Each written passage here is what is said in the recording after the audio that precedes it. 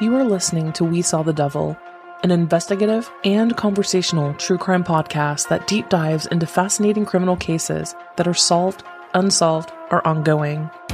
From America's Lori Vallow to Germany's Armin Meiwes, we examine and discuss the world's most shocking cases. If you're enjoying the show, don't forget to follow us online. Check us out at WeSawTheDevil.com and We Saw the Devil on Facebook, Twitter, and Instagram. And don't forget, you can become part of the show by backing us on Patreon.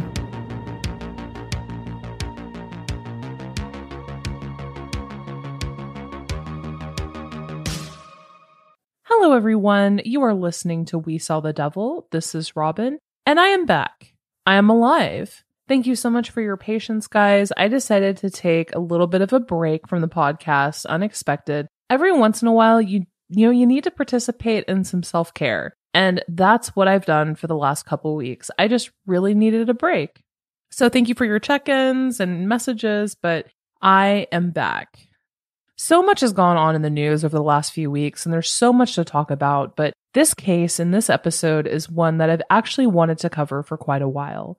Never in a million years did I expect movement in this case. This case is from 70 years ago, and suddenly we're finding it back in the news, which I'll discuss later on in the episode and, and what reason and why it's back in the news. But it is absolutely one of the biggest stains on American history, and also an incredibly important moment in American history, particularly when dealing with the civil rights movement. This episode is going to be the story, the full story of Emmett Till. What I found very, very, very interesting is that, you know, I grew up in Nashville, Tennessee. I learned all about the civil rights movement, a lot of the important places such as Memphis, Birmingham. A lot of these locations are here in the southern region, here in my area. Throughout my life, I've spoken to friends from California, New England, and many of them aren't aware of the story of Emmett Till. I also find that the younger generations, too, a, a, lot of times have heard the name, but not really aware of the importance of it or what happened. So, considering that this case has found itself back in the news cycle in the last couple weeks, I really, really, really wanted to cover it.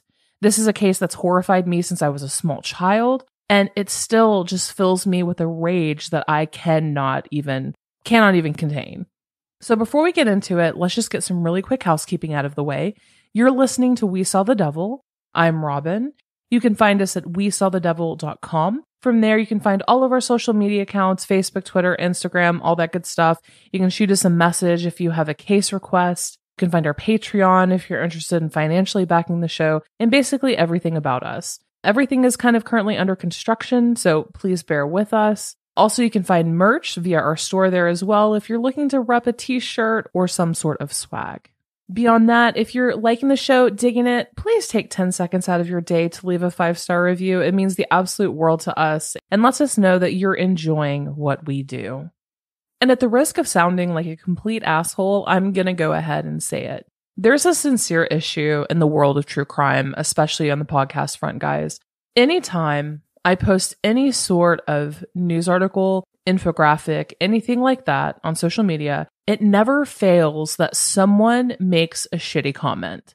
Last year, I posted an article on Facebook about the Wrightsville fire of 1959. On that night, 21 African American boys burned to death in the dormitory of an Arkansas reform school. The fire was started. These boys were, in fact, murdered. The post was an anniversary post, uh, just a historical post saying this many years ago today. And a whole handful of middle aged women were posting, Why are you race baiting? Why are you bringing this up? Why are you why are you bringing this up in such a politically charged climate? Why are you trying to be divisive? Let's just hold and think about that for a moment. No one bats an eye or questions when a pretty white girl is discussed, whether she was murdered by a husband, boyfriend, lured into a cult, whatever. You know, the missing white woman syndrome that, especially that uh, was discussed during the Gabby Petito case. No one cares. No one bats an eye. Do you think that post would have received the same reply if I posted something Black Dahlia murder, Sharon Tate, anything like that? No. And this is a real statistic, and you can ask anyone you know who's a podcaster. Episodes that typically cover people of color do not perform at the rate as those who discuss white women. That's just a fact. That is a fact that every single podcaster who does this is aware of. And it's horrendous. And I've been thinking about this comment that this woman, who is a listener of this podcast, that she made on the Wrightsville fire post that I made last year. It made me so angry. I talked about it for weeks just because I can't believe that people lack self awareness to such a degree. It's absolutely sickening to me. And if you're one of those listeners sitting here saying, Why are you doing this? Why are you contributing to the div- divisiveness in this country? Or my, my all time favorite, which people usually say is, Slavery was so long ago. That's, that will send me into a blind rage. Segregation lasted 89 years from 1866 to 1954. In the 1960s, we saw the heart of the civil rights movement. And here we are in 2022. From an overhead view, post segregation America has not been that long when you're taking into account American history. We have not been in the post segregation phase very long, considering. I think we all remember that iconic photograph. Even if you don't know what happened, you've heard the name Ruby Bridges. Ruby Bridges was just six years old when she was the first student to desegregate a school in Louisiana, an elementary school. She was flanked by the National Guard, and there was a mob outside. This tiny, tiny little girl was walking through a mob who was screaming at her, shouting at her, pointing at her, calling her the N word. Just so much hatred. So much hatred. Well, Ruby Bridges is just 67 years old today. 67 years old, younger than most of your grandparents. We still have people alive today who were tortured, beaten, maimed, shot by white supremacists in the South when they lived in the Jim Crow South. We still have people alive who were there who witnessed it, who saw it all firsthand. I think sometimes it's really, really hard to timeline history, to realize where we are in relation to other events in history. Anne Frank, had she not been murdered in the Holocaust, would be 93 years old today. It's really easy when the tide of public opinion changes so rapidly these days in the modern day, just how close we are to certain historical events we want to believe that all of these things happened so long ago, but they didn't. World War II ended 77 years ago this year. So just 77 years ago. There are World War II veterans still alive, Holocaust survivors still alive. They just arrested two people, but in particular, a gentleman uh, who was accused of being a Nazi, who working, you know, Nazi officer working in a concentration camp.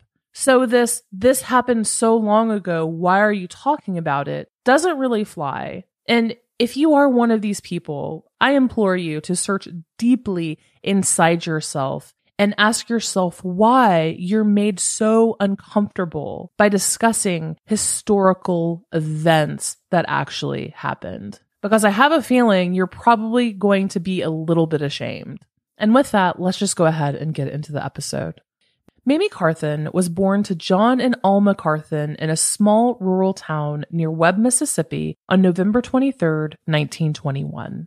When Mamie was two years old, John and Alma decided to go north in order to escape the racial violence and harsh segregation laws that prevented them from economic opportunities. This movement at large was called the Great Migration. From about 1916 all the way through 1970, Roughly 6 million African Americans left the rural South, moving to cities in the North, Midwest, and West. You see, after the Civil War, on December 18, 1865, the 13th Amendment was adopted as part of the United States Constitution.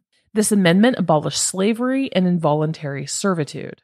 The 13th Amendment freed roughly 4 million slaves, but most of them actually still remained dependent, taking on obscene labor contracts and finding themselves once again working in fields under inhumane conditions. The South, pissed off that owning black people was no longer legal, decided to adopt its own local and state laws. Right after the war, these became known as Black Codes. The laws detailed where they could live, where they could work, how, where, and when they could travel, how much they could get paid. The Black Codes just basically modernized their oppression and circumvented federal laws. After the war, when all of the soldiers from both sides returned home, Confederate soldiers came home and they became lawyers, police officers, judges, farmers. They were tasked with enforcing these black codes. Should a black citizen find themselves breaking one of these codes or their labor contract, they would potentially end up in prison, oftentimes with much longer sentences than their white peers. There were multiple options for punishment there. The state either leased the prisoners to private businesses and forced them into contracts that exchanged a period of servitude for the payment of a criminal fine, or they placed them on state or county chain gangs. During this period, a very large proportion of the black population in the South became incarcerated. The Reconstruction Act of 1867 required Southern states to ratify the 14th Amendment, which granted equal protection of the Constitution to former slaves. It granted citizenship to persons born and naturalized in the United States. Coming in hot three years later in 1870 was, you guessed it, the 15th Amendment, which guaranteed that a male citizen's right to vote would not be denied on account of race, color, or previous condition of servitude. And the South didn't like that very much. The KKK had officially dissolved in 1869, but in reality, it just went underground, stronger than ever. There were beatings, murders, lynchings, cross burnings, and mass initiatives for intimidation. It was a literal hellscape for rural African Americans in the American South. Now, let's fast forward to where we were 1916 with the Great Migration. As I said, the Great Migration was a 54 year period where roughly 6 million African Americans left the rural South, you know, moving to cities in the North, Midwest, and West. This was due to a mass labor shortage in 1914 when World War I kicked off. Many of them took a factory job in urban centers, which paid up to four times as much in wages as they would have made farming in the South. After World War I kicked off, they had a lot of openings. So a lot of Black people started migrating all over the country to take over some of these factory positions to make money. And word of mouth traveled quickly, even in the early 1900s. Hey, you can make better money here, and it's much safer for you here. It's estimated that by the end of 1919, more than 1 million Black people had left the South in favor of the opportunities in other regions. They traveled by boat, bus, train, cars, and even horse drawn carts to leave the South. And this also caused population booms in other cities. New York's population rose by 66%, Philadelphia 500%, Detroit 611%. and Chicago, 158% increase in population. And we're going to pick up this case in Chicago in 1924. Mamie Carthan was just two years old when she, her brother, and her mother arrived in Argo, Illinois, a small suburb of Chicago. Her father had departed Mississippi and arrived a few months earlier. He had gotten a job at the Argo Corn Products Refining Company and wanted to make sure that it worked out before sending back home for his young family. Argo was a small, predominantly black neighborhood that was growing at breakneck speed. Between 1915 and 1940 alone, more than half a million Southern African Americans moved to Chicago. The Carthans called their neighborhood Little Mississippi. It was tight and close knit, and they would help recent arrivals get jobs or even a place to stay until they got on their feet. They were one of the only homes in the neighborhood to have a telephone, and they would leave a key under their doormat in case someone from the neighborhood needed to make a phone call. If they did, they would leave a nickel, use the key, go inside, make the call, and then leave. When Mamie was 12 years old, the family decided to take a trip to visit family and friends back in Mississippi. When Mamie arrived at her grandparents' house, she couldn't understand the conditions in which they were living. Chicago wasn't the most luxurious, but the housing in rural Mississippi was near squalor. But most of all, she couldn't understand why her grandparents were using a Sears Roebuck catalog as toilet paper. She wondered if they were too poor to afford any, so she decided to perform an act of kindness and stop into the local drugstore to buy them some. Mamie grabbed a couple rolls of toilet paper from the shelves and went to place it on the drugstore checkout counter. The owner flatly refused to sell it to her. He snarled and said, Go use corn cobs like all the rest. Mamie felt shock, anger, and embarrassment well up inside of her. And just when she was about to speak, her grandfather walked in and pulled her out. She wrote about this experience in her autobiography, saying, He pounded the fear of every black person in the state of Mississippi into me. In Mississippi, there were certain things that black people were denied by white people the freedom of movement, the luxury of choice, and a roll of toilet paper. It was Mamie's first experience with targeted hatred and bigotry, far outside the cozy streets of Little Mississippi and Argo, Illinois. It made her appreciate the freedom and community that she had back in Chicago, and she never forgot how she felt in that moment. In 1934, Mamie's parents divorced, leaving her absolutely gutted. She threw herself into her schoolwork, and Mamie Carthan became not only the fourth black student to graduate from that high school, but the first black student to make the honor roll. Most of the girls at her age at that school dropped out at the age of 16 to marry. Shortly after graduating high school, at age 18, she met a man by the name of Louis Till. Louis had just recently moved to the area from Missouri to work in the Argo Corn Company, just like Mamie's father. Louis was very attractive, suave, and spent his non work hours as an amateur boxer. Many women from Argo, Illinois had a thing for him. However, after the first time Louis saw Mamie, he only had eyes for her. Mamie's parents didn't really approve as they thought that he was too much of a playboy. One day, he asked Mamie out on a date. They went to the Berg's Rexall drugstore in Summit, Illinois, which at the time was racially segregated.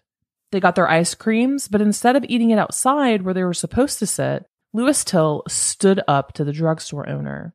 He told him that they were not going to sit outside in the quote black area. They were going to sit right inside and eat their ice cream. And the drugstore owner allowed it. Other black locals walking by saw them sitting inside through the window and went inside themselves. They too got ice cream and sat inside to eat it. So for Mamie Carthan and Louis Till's first date, they integrated a drugstore. Mamie and Louis fell in love quickly and got married shortly thereafter in October of 1940. On Friday, July 25th, 1941, Emmett Louis Till was born in Chicago's Cook County Hospital. A family friend had given Mamie's baby bump the name of Bobo, and that name would stick around for the rest of Emmett's life. It's also worth noting that in the same year, 1941, sociologist Gunnar Myrdal published a study called An American Dilemma. Myrdal and his researchers asked white Southerners to describe what they believed Black people wanted from integration. The number one answer was intermarriage and sexual intercourse with white women. Just as a little marker for you of public sentiment in that time. What should have been a happy moment for the young couple turned into a living nightmare for Mamie. Louis Till was not a nice man. Mamie, years later, would describe Louis as violent and abusive.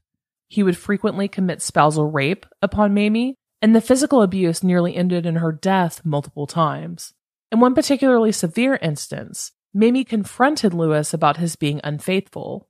Louis ended up almost choking Mamie to death and she survived only because she was in the kitchen near a pot of hot water on the stove. So she grabbed it and poured it on him, and he had no choice but to let her go. Louis Till had no interest in being a father, and no interest in being a faithful husband either. After another horrific instance of abuse, Mamie had had enough. She mustered the courage to call police and ended up filing a restraining order against Louis.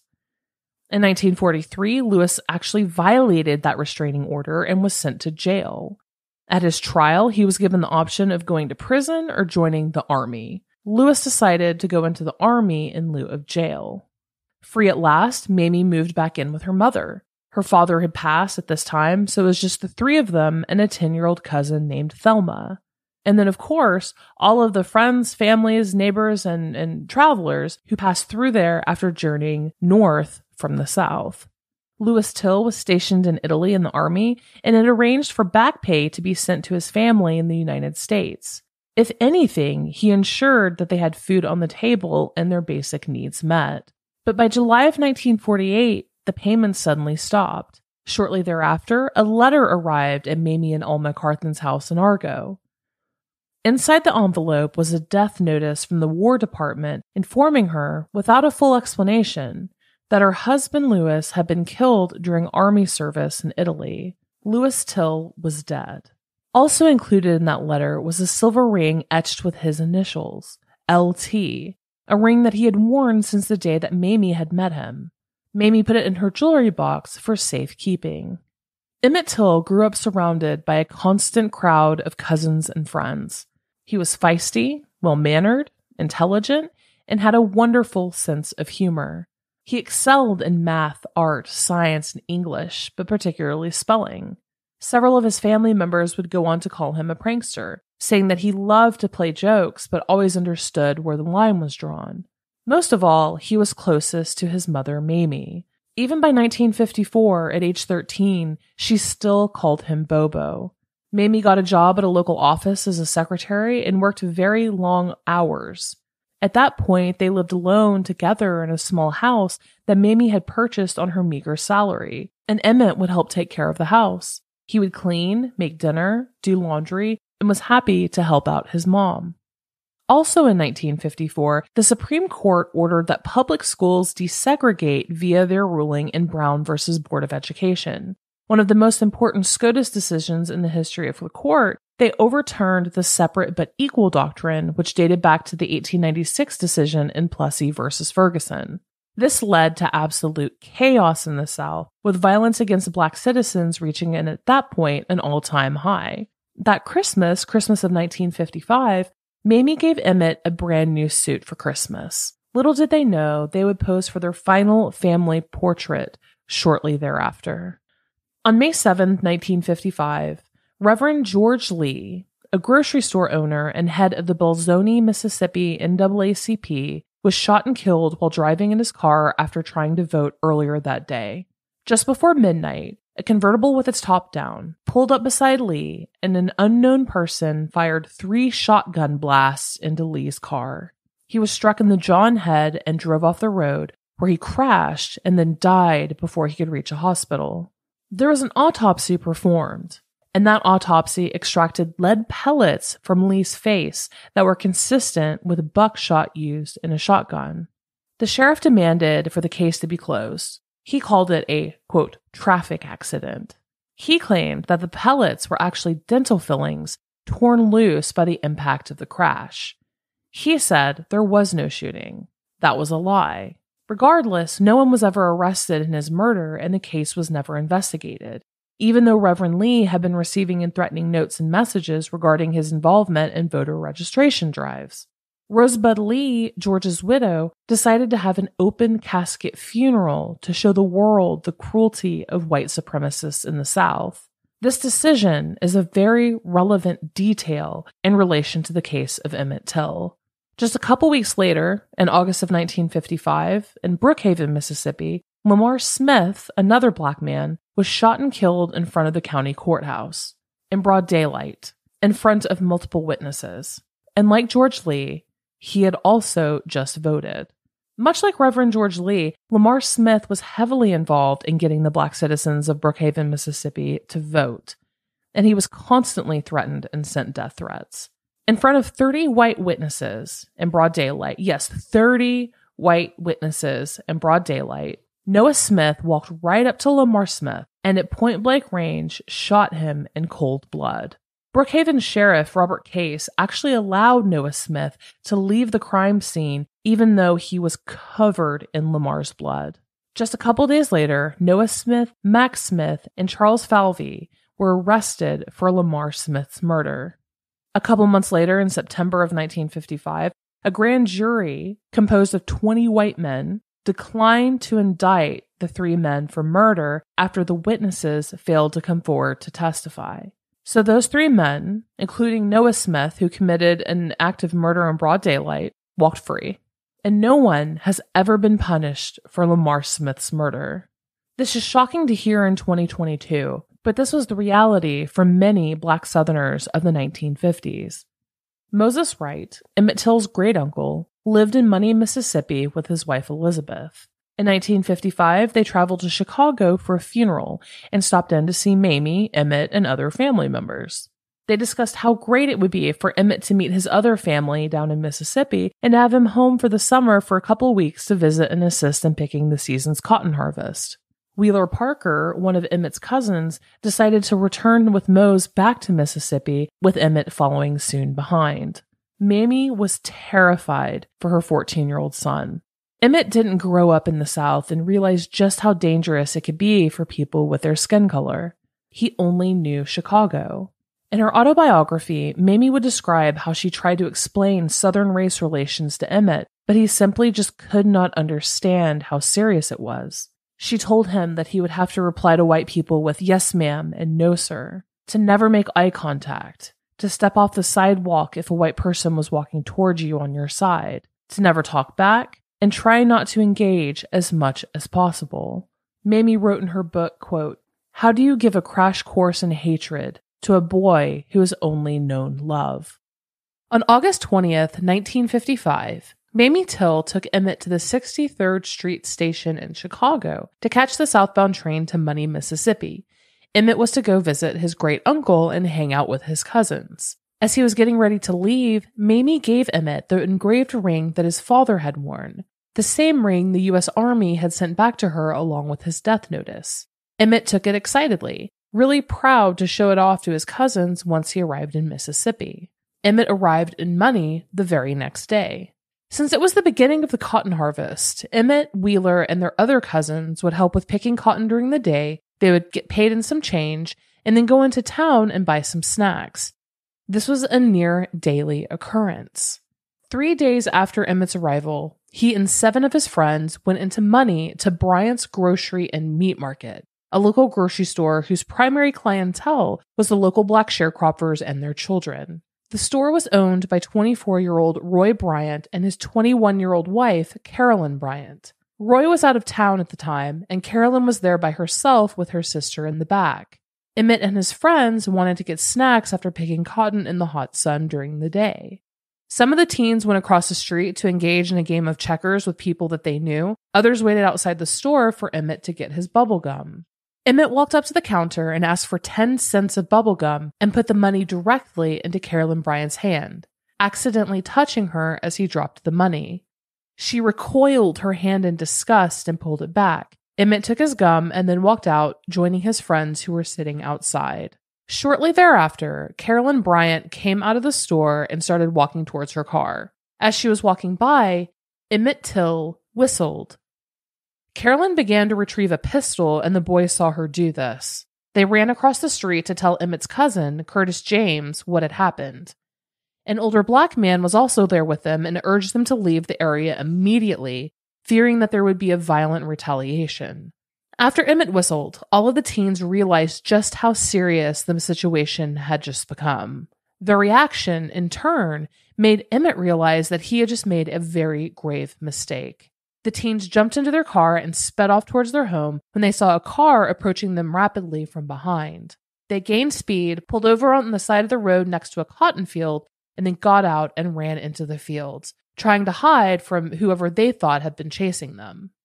The car ended up driving by without stopping, and the boys cautiously went back to their car. Emmett begged the group not to tell his grandfather what had happened, and they were true to their word. They didn't. But the secrecy did not last long.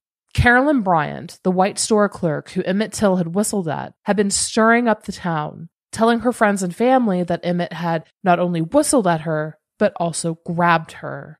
Carolyn's husband Roy remained out of town for three days after the grocery interaction. Upon his return, Carolyn did not tell him what had happened. Roy found out about his wife's interactions with Emmett Till from another townsperson who had heard the gossip and decided that he needed to know. One of Moses Wright's neighbors, Rutha Mae Crawford, told Emmett and his cousins that they had not heard the last from the Bryants. One of her friends who lived in town had heard talk that Roy Bryant, Carolyn's husband, had just returned home and had been openly discussing how they were going to, quote, get that boy from Chicago. After hearing that, concerned family members told Moses Wright exactly what had transpired at that grocery store and begged and pleaded with him to put Emmett Till on that night's train back to Chicago. Moses, believing the situation had been blown out of proportion, did not rush or send Emmett home to Chicago on that next train.